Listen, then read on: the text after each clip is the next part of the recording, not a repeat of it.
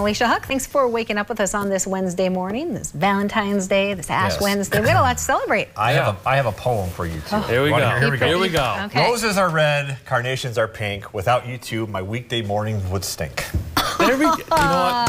Thank you. Oh, oh, thank you. good. I will. Thank you. I will stand uh-huh. up But and I take a didn't bow. get, I wasn't, I, I didn't get an applause for my song.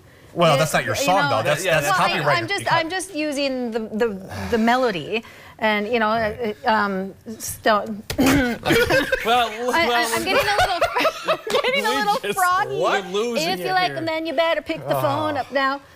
I We're gonna get, a phone call from. Beyonce here in a second if you keep. I'm trying. It's just just the melody. You, So- you sound wonderful. Uh, You we sound could go on and on. You're Yeah, stealing we- that roses are red. Also, I am so not. Yes, that's you are. true. You That- steal thank that. you. We're, not, we're not authentic But here. we're both trying to be. Okay, so we'll have to we- come Oh, with you know, you weren't here. We missed it because it was pineapple pizza pizza Oh, day, pizza day. the other day. I missed that. Thank goodness. The argument that we have Yes. Yes. continuously. Okay.